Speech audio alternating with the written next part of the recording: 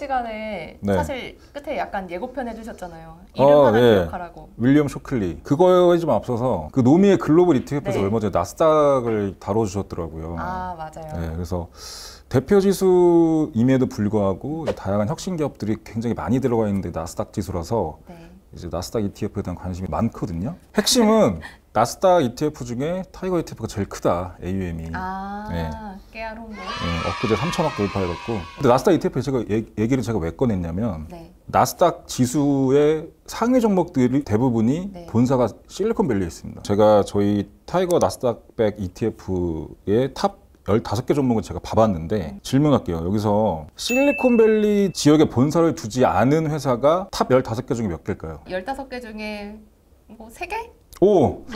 맞아요. 3개. 어. 마이크로소프트가 워싱턴주, 그 다음에 아마존닷컴도 워싱턴주 시애틀에 있고요, 본사가. 펩시코, 음. 펩시콜라 할 때. 네네. 그 회사는 뉴욕에 있습니다. 뉴욕주에. 아, 제가 잘못 봤네요. 네 개네요. 하나 더 있다. 하나 더는 이제 컴캐스트라는 회사. 여기는 네. 펜실베니아주에 있고요. 나머지는 아, 전부 다 캘리포니아 쪽에 있습니다. 그 실리콘밸리 베이에어리어 쪽. 그래서 왜 이렇게 이쪽 동네가 그 혁신 기업들로 구성된 이 나스닥 지수의 상위권 기업들이 많이 포진되어 있냐. 그거에 대해서 좀 생각해 보신 적 있으세요? 일부러 조성한 건 혹시 아니에요? 저희 일부러 판교처럼 아 판교처럼 IT 밸리 이렇게 한 건 아니에요? 아 그런 거랑 좀 달라요. 제가 그 얘기 좀 드릴게요. 네. 네. 왜 실리콘밸리에 나스닥에 많이 상장한 혁신 기업들이 모여 맞아요. 있게 됐나? 그리고 실리콘밸리에서는 어떻게 혁신 기술을 개발하고 이걸 배양시키고 거대한 시장을 만들어내는지 이제 처음에 쇼클리에서부터 시작을 해야 됩니다. 쇼클리가 그때 저희가 2회에서 살펴봤듯이 뭐 현대 트랜지스터의 원형을 좀 만들었다라고 제가 말씀드렸잖아요. 네.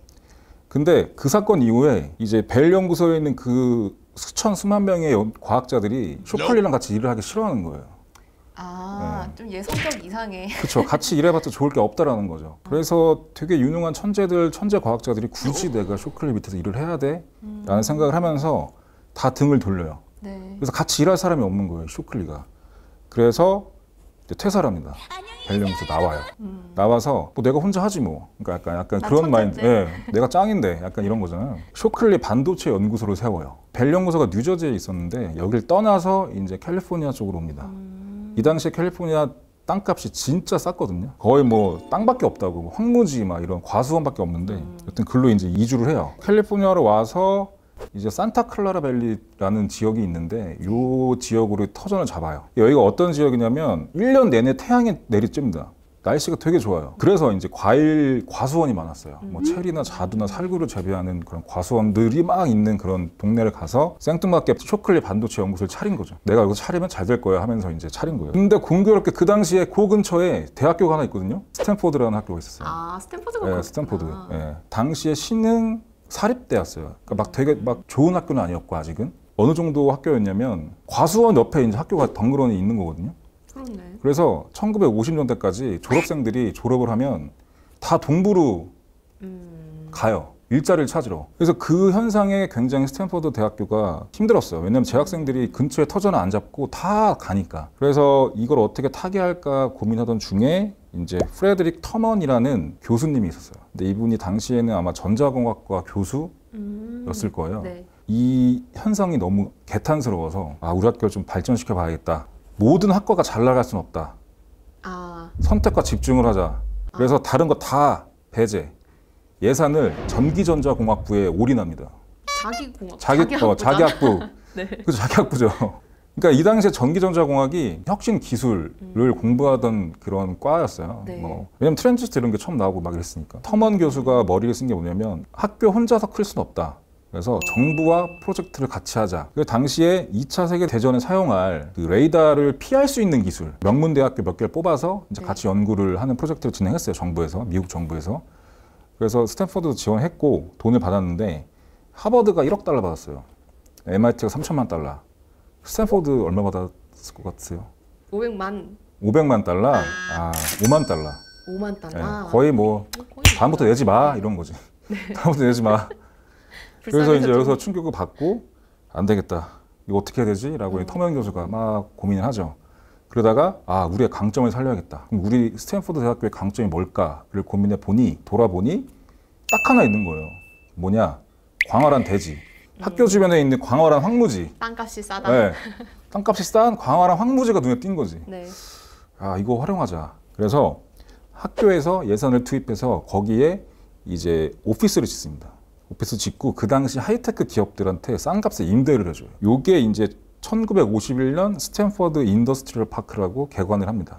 그래서 이 당시에 기업들이 많이 들어와서 이 들어온 기업들이 커가는 과정에서 스탠퍼드랑 산학 프로젝트를 엄청 많이 진행을 해요. 아, 그러면서 신기술도 같이 개발하고 졸업생들이 일로 취업도 하고 그러면서 졸지에 이 스탠퍼드 인더스트리얼 파크가 엄청 커지는 거예요. 이 스탠퍼드 인더스트리얼 파크 초창기 입주 기업들이 되게 쟁쟁합니다. 휴렛 패커드, 그다음에 이스트만 코닥, 제너럴 일렉트릭, GE, 네. 록히드, 그리고 쇼클리 반도체 연구소가 여기로 들어와요.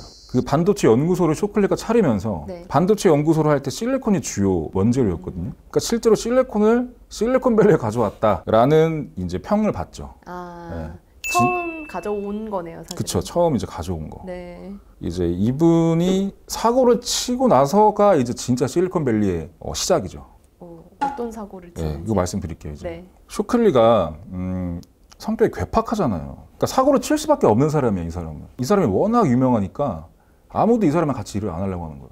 그래서 도저히 베테랑 연구원을 구할 수가 없는 거예요. 그래서 쇼클리가 안 되겠다. 그래도 내 수발들 애들은 필요하니까 그러면 수발로? 대학원을 갓 졸업한 젊은 애들로 한번 내가 사기를 쳐보자. 음, 뭐좀 모르는 애들 네. 데려다가 이미 아는 애들은 안 오니까. 맞아요. 딱 그거. 아무것도 모르는 애들 데리고 오는 거죠. 네. 그래서 그 당시에 8명 정도를 데리고 오거든요. 그 8명의 이름을 전부 알아야 됩니다. 아 여덟 명이나요? 네. 지금 쇼클리만 기억하기도 쉽지 않았는데. 이 8명이 네. 실리콘밸리를 만들어요. 그래서 그 여파가 오늘날까지 나스닥 ETF까지 연결되고 있는 거거든요. 아, 네.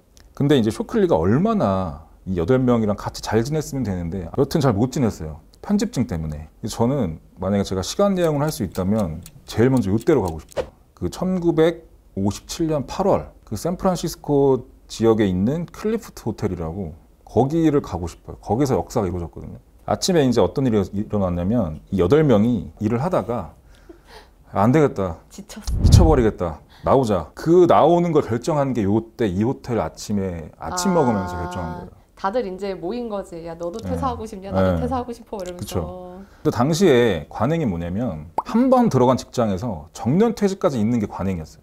아. 중간에 이직하는 게 거의 없었어요. 요. 다른. 네. 그래서 쇼클리 입장에서는 엄청난 충격을 받은 거지. 음. 쇼클리가 이 여덟 명한테 배신자라고 해요. 너넨 배신자들이다. 음, 날 배신했다. 네. 회사를 배신하고 네. 니네 여덟 명이 그렇게 네, 나가? 맞아요. 음. 그래서 막 분노에 막 고함을 지르면서 이 배신자들 꺼져 막 이러면서 극대노한 거죠. 쇼클리의 입장에서 봤을 때의 이 사람들을 뭘 어떻게 부르냐면 배신자 여덟 명 그래서 영어로는 the traitorous eight이라고 부르거든요. 음. 근데 얘네들이 너무 유명해지니까 네. 이게 고유명사가 된 거예요. 아. 그래서 이 사람 이 여덟 명을 부를 때 아예 그냥 배신자 여덟 명이라고 불러요. 2006년 7월 뉴욕 타임즈 기사 중에서 어, 역사를 바꾼 중요한 10가지 사건의 날 이제 기사로 내보냈거든요. 그 중에 이제 이게 이 배신자 여덟 명이 집단 퇴사한 날 이게 들어가 있어요. 그 10개 중에. 호텔에서 아침 먹으면서 네, 퇴사하기로 맞아요. 한 날. 그래서 nerd들의 반란이라고 이제 아. 뉴욕 타임즈에서 이제 이거를 제목을 붙였고 네. 이 여덟 명의 배신자들이 집단 퇴사한 날이 음. 실리콘밸리가 탄생한 날이다라고 그 기사에서 이렇게 쓰거든요. 집단으로 나가서 1957년 10월, 10월에 바로 차린 거예요 회사를. 음. 회사 이름이 이제 페어차일드 반도체 회사. 아 페어차일드 네. 자기네들은 fair한 그쵸?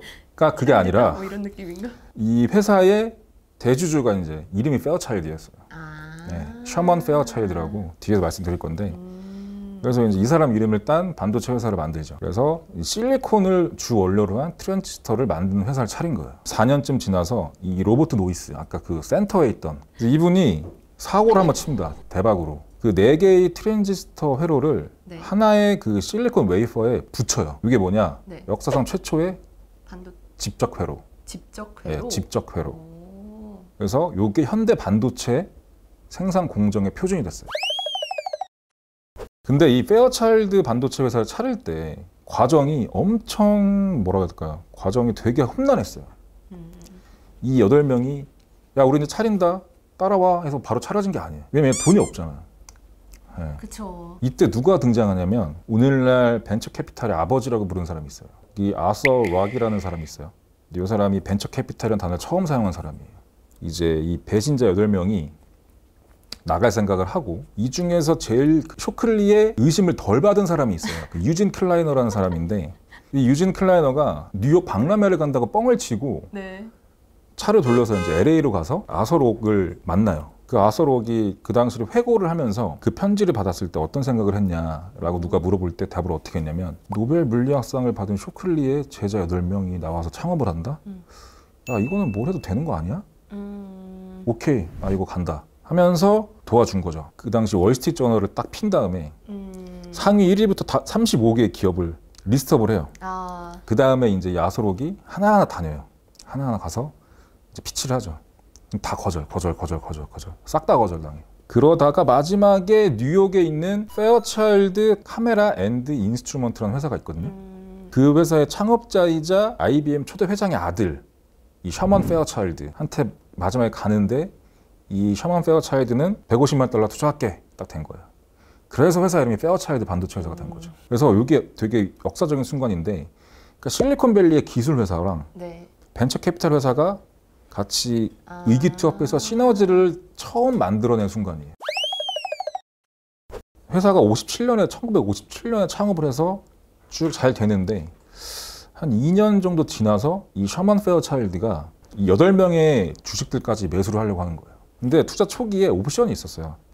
그러니까 150만 달러 니네 회사에 투자하는 대신에 내가 원하면 300만 달러의 전량 주식을 매수할 수 있는 콜옵션을 달라. 음. 그게 붙어 있었죠. 그래서 그걸 이제 행사하고 싶은 거지. 네. 그 권리를. 그리고 또 갈등을 증폭시킨 게 뭐냐면 경영 관리 이런 걸 뉴욕에서 해. 근데 개발하고 연구하는 거는 실리콘밸리에서 하잖아요. 캘리포니아에서. 너무 멀어요, 이게. 음. 그래서 갈등이 더 고조되는 거죠. 그래서 이 배신자 8명이 안 되겠다. 나가자. 그래서 줄줄이 퇴사합니다. 유진 클라이너, 아까 그 아서 록한테 편지 썼던 아, 그나마 쇼클리가 제일 믿어줬던 맞아요. 의심을 덜했던 네. 이 사람이 뭘 했냐면 나와서 토마스 퍼킨스라는 사람이 있었거든요. 이 사람이랑 같이 이제 벤처 투자 회사를 차려요. 클라이너 퍼킨스라는 회사를 만들어요. 네. 엄청 유명한 벤처 캐피탈 회사거든요. 네. 지금도 어- 엄청 크고 유진 클라이너는 진짜 벤처 캐피탈 업계의 레전드 같은 사람인 거고 이 사람이 이렇게 얘기하죠. 사업 아이템보다는 누가 하느냐가 중요하다. 왜냐? 음. 자기들이 그것 때문에 페어차일드 만들고 했거든. 네. 그러니까 아서 록의 영향을 받은 거죠. 아, 네. 사람을 봐라. 그러니까 사업 아이템보다 그 경영자 봐라, 창업자 봐라. 누가 하는지를 봐라. 1968년, 그러니까 마지막까지 페어차일드의 거의 마지막까지 남아있던 두 사람이 있어요. 로버트 노이스랑 그 고든 무어. 네. 두 명이 네. 거의 마지막에 나가요. 그러면서 1968년에 Integrated Electronics라는 회사를 차려요. 음.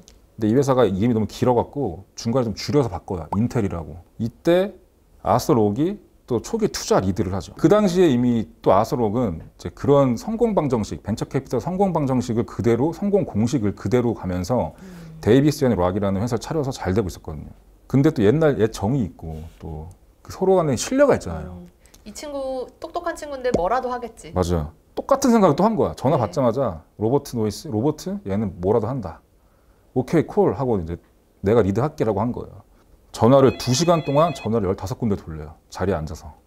2시간 만에 250만 달러를 받아오는 거예요. 그 다음에 이제 또 페어차일드의 영업부장 이 제리 샌더스라는 사람이 있었어요. 이 사람은 배신자 8명은 아닌데 페어차일드에 있는 직원이었죠. 이 사람이랑 그 다음에 에드윈 터니라는 사람이랑 같이 해서 Advanced Micro Devices라는 회사를 만들어요. 요것도 줄여서 AMD. 그 다음에 또 페어차일드의 영업, 영업사원 중에 한 명이 또 누가 있었냐면 돈 발렌타인이라고 있었거든요. 네. 이 사람은 뭘 차리냐면 VC를 차려요.